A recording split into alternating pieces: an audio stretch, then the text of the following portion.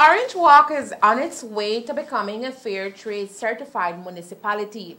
As a leader in the global movement to make trade fair, fair trade supports and challenges businesses and governments while connecting farmers and workers with the people who buy their products. Apart from certifying producers, fair trade is now moving into certifying communities in Latin America and the Caribbean. This news captured the attention of a group of Orange Walkenians who have started the process for Orange Walk to become a member of Fair Trade. With the assistance of the Orange Walk Town Council as the community's governing body, the group hopes to finalize the process in one to two years. It's a community effort. We want the whole town and all the residents to become aware. We want to bring awareness to what it means uh, to a small cultivator, a small farmer, or a small producer in the supply chain. If you look at uh, if you look at the supply chain of cacao or sugar, the cane farmers, or coconut water, or eggs, it's always very very small. The first producer in the supply chain that does not get the fair trade of the profits. Because you could have you could have sugar or you could have coconut and you could have people that grow coconut and they go sell their coconut.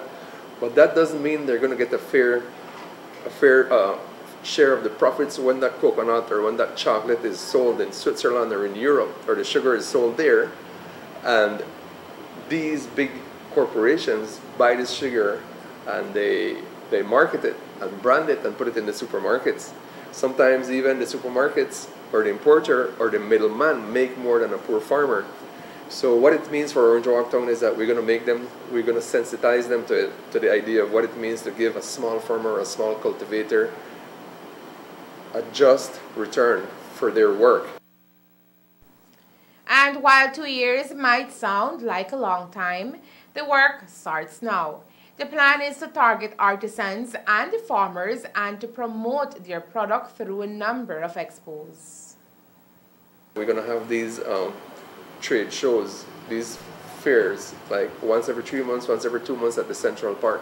And we're going to be inviting all the small cultivators in Orange Walk, the people who make honey, they grow eggs free range um, in an ethically produced manner, uh, avoid unnecessary fertilizers, avoid child labor. Hopefully, after a few of these trades, maybe one cultivator finds another cultivator who's growing the same thing, and then together they can join and form a, a group, which may eventually lead to a cooperative. And it's only through cooperatives that uh, we think that the cultivators will have a bigger say. They can control it, and it's not like somebody come in and buy your eggs and then they, then they go sell it, you know, supermarket and then they get far more than the person who grow the eggs or the honey. So we're trying, hopefully we could revive those industries in Orange Walk. But it's always with a mind to, to assist the first person in the supply chain, the cultivator. For example, we will not feature a small cultivator at the park, at the, at the expo, if we know he to bring coconut water and he to mix it with sugar and water. All right, we don't want that.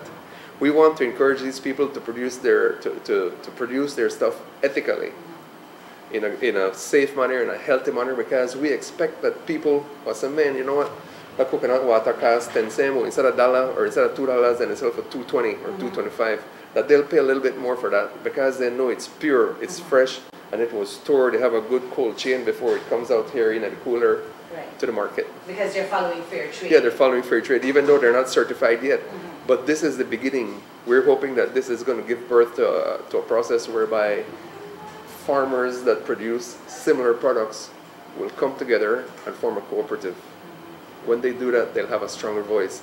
And then at that, at that moment, then fair trade is going to come and say, well, we could help you get a market for your products. We could help you make sure you get a fair price. Obviously, that's in the longer run. In the longer run. Right now, we just want the community to be aware that, you know, there's a process that we can take. It doesn't take much, but let's support the local farmers, the local producers, the local artisans. To see the expos taking we have to wait for actually fair trade to respond and say, okay, Orange Walk is uh, fair trade um, certified? No, we have to do that stuff first. All right. Fair Trade has to see us making the, um, organizing the expos, inviting the local producers first before we become certified.